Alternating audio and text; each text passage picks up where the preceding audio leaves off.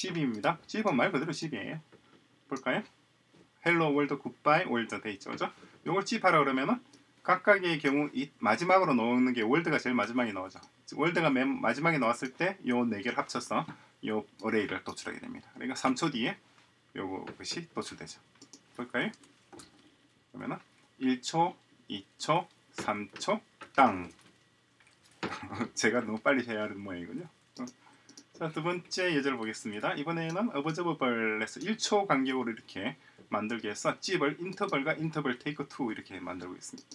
이건 뭐 다른 의미가 있는 게 아니라 그냥 인터벌과 인터벌이에요. 인터벌과 인터벌을 합치면 어떻게 되죠? 그래요. 그러면은 하나, 둘, 셋, 넷 각 초마다 두 개 쌍으로 이렇게 return하게 되겠죠. 그죠? 그런데 세 개만 하겠다는 거예요. 세 개만 하겠다. 그러면 0, 1, 2만 넣으면 알겠죠.